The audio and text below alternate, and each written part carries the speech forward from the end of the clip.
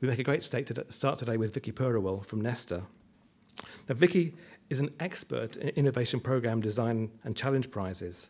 She's got nearly 10 years of experience of supporting innovation in the UK, spanning a range of topics including education and the environment. Since joining Nesta, she's been responsible for designing and delivering several major programs to encourage, support, and reward innovation. These have included the highly successful Big Green Challenge, for which she led the design and delivery. The Big Green Challenge was one of the first challenge prizes focusing on social innovation. Prior to her time at Nesta, Vicki spent four years in the performing arts sector as a fundraiser, writer, manager, and performer as well.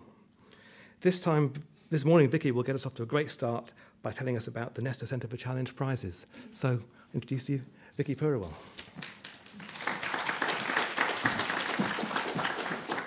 Thank you very much, Nigel. Wow, that was a scary introduction to try and live up to. Um, so, yeah, I'm Vicki Purewal. I'm currently head of uh, Challenge Prize Design at Nesta's Centre for Challenge Prizes, which is quite a new thing, and I'll tell you a bit more about that later on in the presentation. But um, to start with, I just want to tell you a little bit about challenge prizes and, and how we define them. So this is our kind of working definition of challenge prize. So a challenge prize offers a reward to whoever, that's in big letters for a good reason, can first or most effectively meet a defined challenge.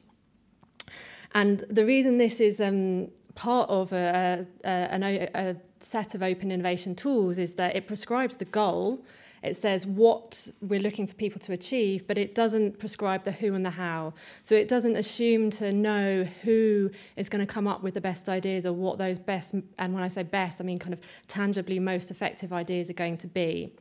So that's kind of why it sits within open innovation.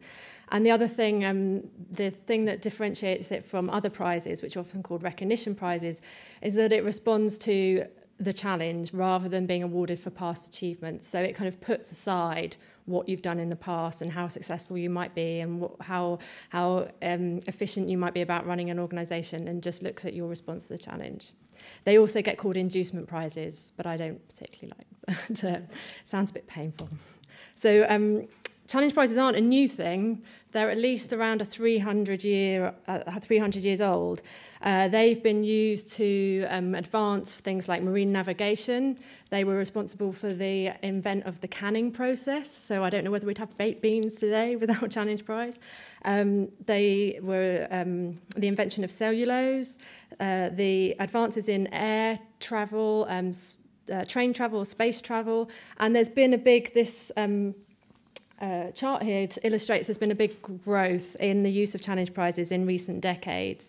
So you've got um, sort of the early 2000s here. And so since then, there's been a massive growth in the use of them. Um, they are similar um, in some ways. They share some characteristics to other developments in innovation. So, in particular, challenge led innovation. You'll hear about this, I think, from some of the other speakers today as well. It's a lot of in open innovation techniques use um, challenge led approaches. So they're looking for ideas in response to something quite specific, usually a, a social, environmental, or perhaps economic kind of challenge. Um, and things like outcome-based commissioning would fall into, into, that category as well. They also share characteristics with a, a, quite a few developments around results-based finance at the moment. So things like things like impact investment or outcome-based commissioning would fall under that. And so challenge prizes sit in this kind of space in the middle, but there's also the prize element of itself. There's something quite specific about prizes in the language, in the, the way that they're presented and the language that's used, the excitement that's built around them.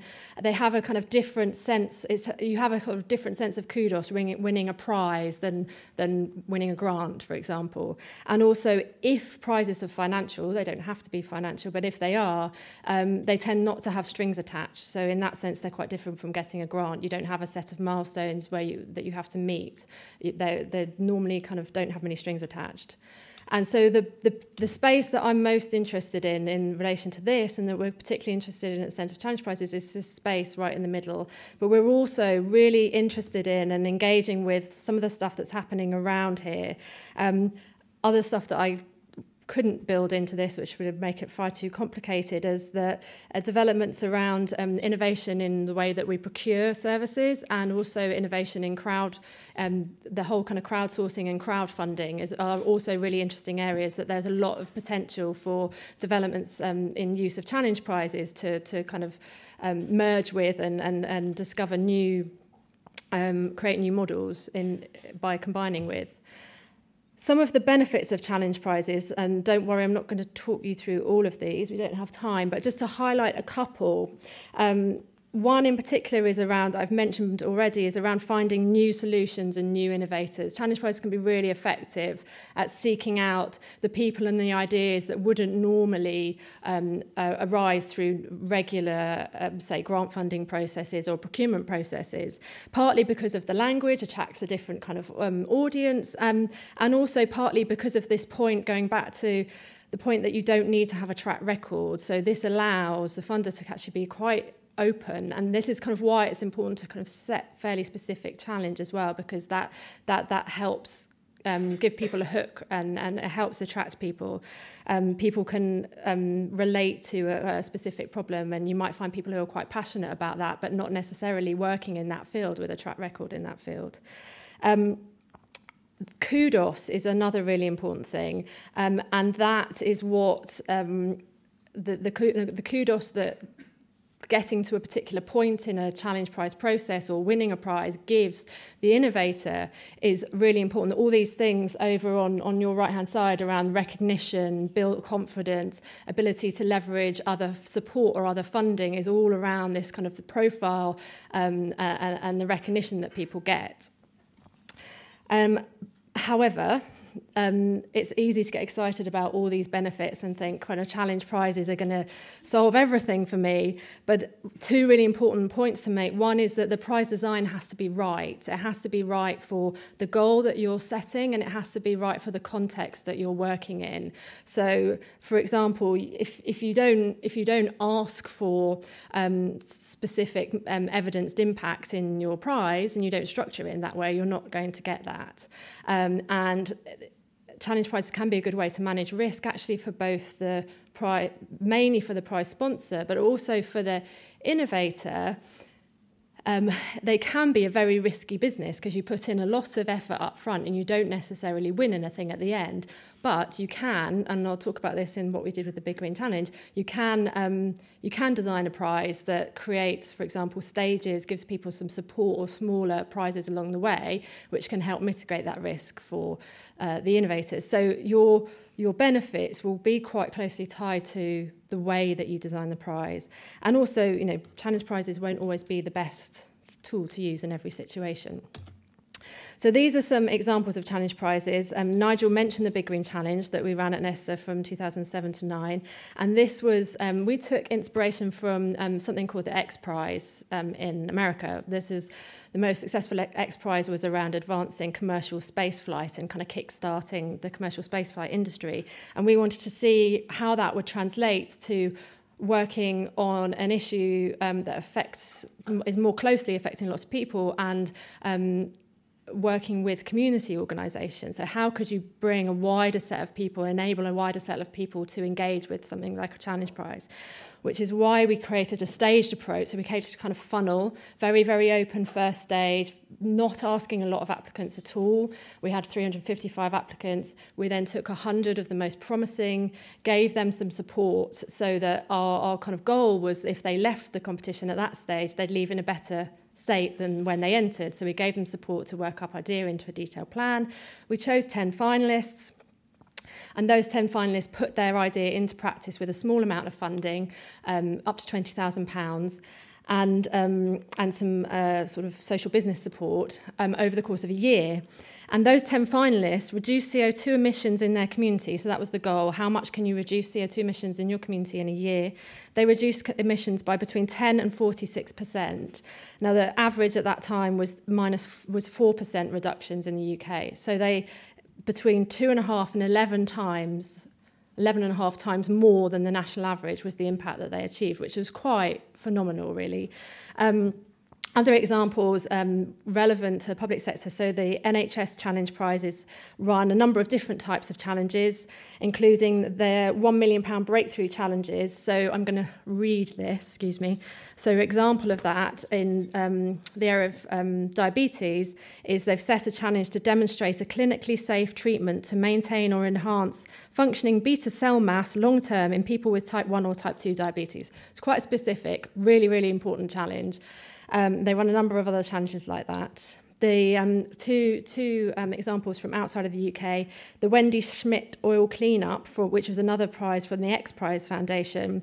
Um, two teams um, managed to either meet or exceed the goal of, I won't give you the technical details, but basically they uh, improved the previously recorded rate for oil cleanup on the sea surface by three times through that prize. And that's an example of a prize that responded to a very immediate short term challenge, but one that could easily reoccur. So there was a kind of longer term impact as well.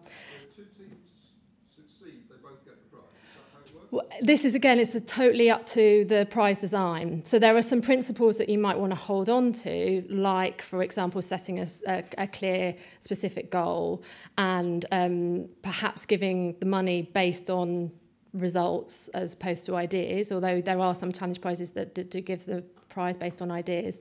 Um, so you might want to set some parameters, but within that, it's really important to think about what's relevant for what you're doing and and maybe to keep some flexibility. So quite a few prizes that are set say that they, and this is what we did with Big Green Challenge as well, they, they want to tie the prize to what's achieved. So they want to give a little bit of flexibility that if two teams do meet that goal that they both they can be both recognised. With Big Green Challenge, we had a one million pound prize pot, and we ended up giving three prizes of three hundred thousand pounds and a runner-up prize of a hundred thousand. It's very tricky because. Um, sorry, I try not to go on too much.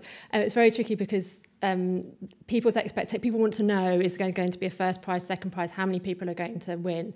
So you have to kind of balance that with trying to be true to giving the prize based on like in proportion to the results that are achieved. So it's, it is that's a, that's kind of a tricky area. Um, the Nordic built example I won't tell you about um, in detail now because I think I'm running out of time. But the um, basically they've taken a traditional architecture prize and they've adapted and changed that so it's more open and so that there are kind of is more results based as well. Um, there are also, I think it's important to say that there are a number of organisations and online platforms um, being developed at the moment that are available to you to work with in partnership and and and to kind of run prizes or run challenge prizes and similar approaches on. Um, that includes the Centre for Challenge Prizes, which we've just set up at, at Nesta. Um, the intention to set this up was announced in the Department for Business Innovation and Skills innovation and research strategy this time last year. So it's a fairly new thing. We launched it in April with um, David Willetts and with um, colleagues from NASA who have sent up a similar, similar um, organi- um, organization center in, in the States. And our mission is essentially to grow the field of challenge prizes, to grow the use of them, um, and also to kind of run challenge prizes ourselves and to try and find and test and reward the innovations that are going to demonstrate the biggest impact on the issues that affect our lives. Um, and since late April, we've launched um, five prizes. We're working with um, BIS on reducing uh, prize around reducing bike theft and also getting ready to launch one with them on car- use, better use of carbon data. Uh, with the Cabinet Office, we're working on waste reduction and reducing isolation among older people, which is part of their giving strategy. We're also advising and supporting the European Commission on one on creating new forms of work and the um, United Nations Development Programme and one around clean energy. Um, we're going to launch more prizes um, over the next year, and some will also close. We've started to build a network of practitioners in the UK and internationally, and over the next year, we hope to develop that further. So, if some of you are starting to develop challenge prizes, really like to hear from you and work out how you might be part of that network. And we've planning some research work. We're doing blogging, speaking events like this, and, and tweeting. So um, do kind of follow us and contact us and let us know what you're doing.